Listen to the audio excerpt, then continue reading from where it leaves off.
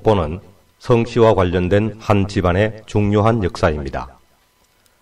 족보는 집안의 보물처럼 소중히 간직하고 경건한 마음으로 살아계신 조상님을 대하듯 하였습니다.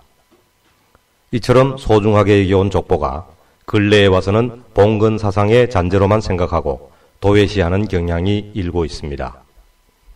우리나라 족보는 세계가 부러워할 만큼 발달된 족보로 정평이 나 있으며 계보학의 종주국으로 꼽힙니다. 우리 조상들이 지켜온 족보를 자랑스러운 전통 문화로서 계승 발전시켜 나가기 위해서는 새로운 방향의 족보 편찬 및 제작 방법이 모색되어야 합니다. 2000년도 통계청 자료에 의하면 우리나라는 260여 개의 성과 2600여 개의 본관, 18,000여 파가 있으며 크게는 286개의 문중과 4,200여 개의 작은 문중들로 구성되어 있는 시족 사회입니다. 그 중에서 의성김 씨는 79,368가구에 25만 3,309명으로 구성되어 있으며 전체 인구 수의 31번째를 차지하고 있습니다. 의성김 씨의 분포는 서울 지역과 대구, 경북, 경기, 부산, 충청, 경남, 인천, 호남, 강원, 제주도의 순으로 분포되어 있습니다. 앞으로 우리는 현실 활용 가능한 족보 편찬 및 제작 방법을 모색해야 합니다. 과거 농축산 경제의 1차 산업에서부터 아날로그 기계 산업을 넘어 현재에는 통신 전자 문명을 아우르는 디지털 시대에 살아가고 있습니다. 복잡하게 나열된 대동보에 수많은 페이지별로 찾아 헤매이는 방식이 아닌 간단 검색을 활용한 순간 찾기가 전자족보의 가장 큰 편리성의 예이기도 합니다. 세월이 바뀌어 생활 방식 및 교육의 변화 등 다양하게 변화된 현실에서 새로 읽기식으로 만들어지던 한자족보는 이젠 보는 사람의 기호에 맞게 바뀌어져야 한다는 생각이 이 사업을 기획하게 된 첫 번째의 동기입니다. 족보는 젊은 세대의 기호에 맞게 접근성을 유도해 줘야 합니다. 각 문중에서 선조님들이 귀중한 문집 발간이나 족보 등은 사실상 책꽂이의 장식품으로 전락하는 일이 허다한 시점입니다. 누구나 쉽게 접근할 수 있도록 해 주어야 하는 것이야말로 우리 후손들이 해야 할 꼭 필요한 책무라고도 할 수 있을 것입니다. 글로벌 디지털 시대에 걸맞는 활용성과 편리성이 보장되어야 합니다. 한글 가로쓰기 세대의 우리 후손들에게 재미를 느낄 수 있도록 그들의 일상 도구인 컴퓨터와 휴대전화, 모바일 방향에 다가가 인터넷 전자족보로의 손쉬운 접근 방식을 만들어 주어야 합니다. 젊은 층에게 관심도를 부여하여 자녀층 전달 교육을 유도해야 합니다. 작금의 젊은이들이 바쁜 세상, 글로벌한 무한 경쟁 속에서 우리가 해줄 수 있는 건 조상님들에게 관심을 가지고 가까이 접근할 수 있도록 그들에게 시간을 아껴주는 길을 만들어 주어야 합니다. 젊은 그들을 먼저 깨우쳐서 자라나는 그들의 자녀들에게도 의성긴문의 자긍심을 심어주어야 합니다. 자신이 잘 모르거나 관심이 적으면 자연스럽게 아이들도 모르기에 맥을 잇는 젊은 세대들에게 교육할 시기를 놓쳐서는 안 됩니다. 의성긴문 종친간 교류의 장이 되어 협력 상생의 길을 열어주어야 합니다. 인터넷 전자족보를 통해 우리 의성긴문의 혈족들을 서로 만나게 하고 가까워지도록 하여 상호간 상생 협력 시대를 열어주어야 합니다. 이러한 것이야말로 우리가 후손들에게 물려줘야 할 책무이자 가장 큰 선물이 될 것입니다. 즉각적으로 대응할 수 있는 오탈자 수정 및 2세 탄생을 바로 입력하는 시스템으로 가야 합니다. 수십 년 만에 한 번씩 발간하는 책자족보의 표기 오기 등의 문제점 등을 보완하여 언제든 수정 보완되며 신생아 추가 입력 등이 가능해집니다. 홈페이지 전자족보를 통한 서비스를 시행한 후에 지속적으로 입력되어진 데이터의 검증이 될 시점을 잡아 전자족보 CD로 제작을 하여 개별적으로 원하는 가구별 배포 작업도 추진할 수가 있을 것입니다. 기존 출판된 대동보 전체 입력은 물론이고 개보도와 개파도를 추가 개발해서 수록할 예정입니다. 수십 년 전에 발간된 대동보 전체를 기초자료로 입력하고 알기 쉽게 개보도와 개파도를 표기하여 쉽게 뿌리의 흐름을 볼 수 있고 몇 년 후 대동보 제작 시 아주 유용한 자료로 활용할 수가 있습니다.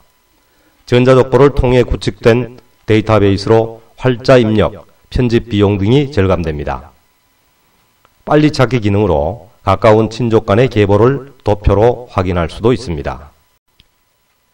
각 문중별, 계파별 유산 및 자료를 수록할 수 있습니다.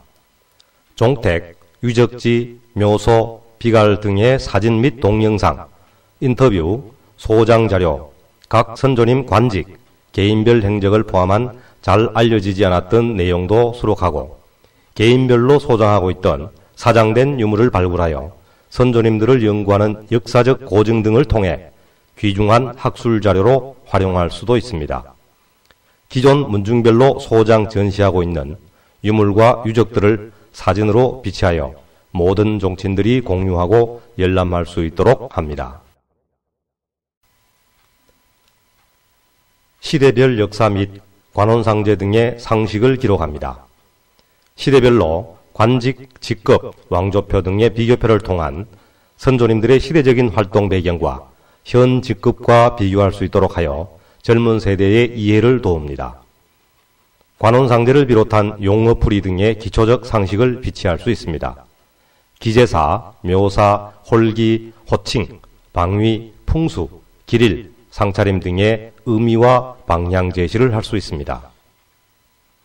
선조님들의 기일 및 산소의 위치 등을 주소와 사진으로 표기하고 해당 선조님에 대한 특이사항을 메모할 수 있도록 프로그램됩니다. 선조별 사진, 관직, 행적을 수록합니다.